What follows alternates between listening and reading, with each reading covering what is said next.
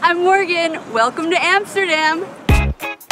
I'm from Montrose, Colorado, and I've been living now in Amsterdam for seven years. In my spare time, I love going to the library with my daughter. I'm really hoping that we can expand her world through books.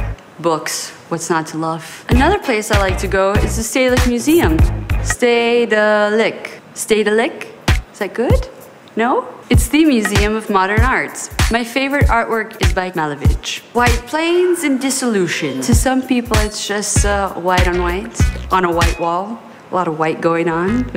But I think there's a lot more that's going on there. A lot of depth and a lot of time and a lot of thought that has gone into it. It's super wow. Which piece of art is your favorite? Share it with hashtag part of me.